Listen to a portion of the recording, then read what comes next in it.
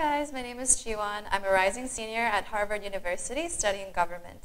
And I went to high school in the British School Manila, Philippines. So I'm here today to talk to you about the U.S. college essay and share with you some tips based on my own experience in admissions. Why is the college essay so important? Well, the college essay is really important in a U.S. Um, application because this is the part of the app that the student exclusively controls. So this is where the student's voice has to show, and this is where, you know, with all the other aspects of the application combined, this shows the admissions officers what kind of student this person will be in college, what kind of classmate, what kind of roommate, and even what kind of person they will be after graduation. So this is also where the character of the student shows, and character is a very important part of the U.S. admissions process. And this is why the essay is crucial to your application success. Do you have some tips for?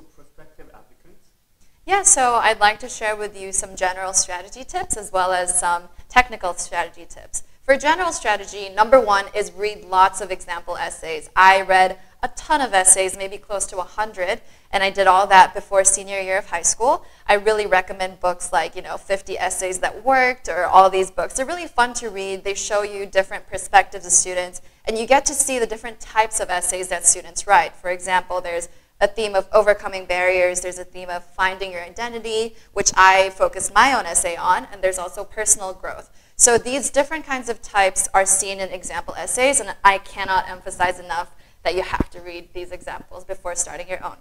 So number two, start early. I cannot stress this enough. Start early, just write, and brainstorm as much as you can. For example, I had eight drafts of my final essay, but before that I had three or four different ideas that were completely different from the idea that I actually used in my essay. So I would recommend starting around June or July before senior year to have enough time to really think of an idea that works for you. And just write if you have any idea that comes to your mind wherever you are.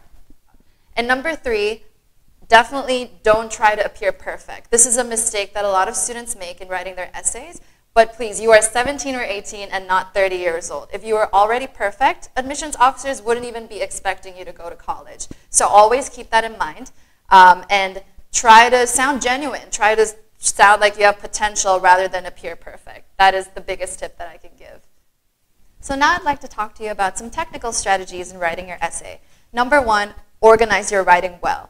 Now don't write a standard five paragraph essay with an intro and a conclusion, but you do have to be clear about what you are trying to get across in your essay. Have specific examples and anecdotes ready, but also be clear about why you are using them. Which part of your character are you trying to show the admissions officers? What is the point of your essay?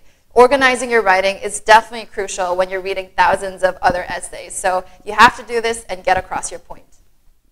Number two, be precise. Please don't unload all your SAT vocabulary in your personal essay because they're just not interesting. I mean, imagine being an admissions officer and you're reading tens of thousands of essays every day. You wouldn't want to see how much vocabulary the student knows. Really try to show your character and be succinct. Don't use five words where you can use one. Writing a succinct, shorter essay is more difficult than writing a longer, um, longer essay, and admissions officers know this. So try to do the former and not the latter. So that was a brief overview of writing a successful college um, Common App or personal essay. I really hope this video helped you and good luck in your college applications.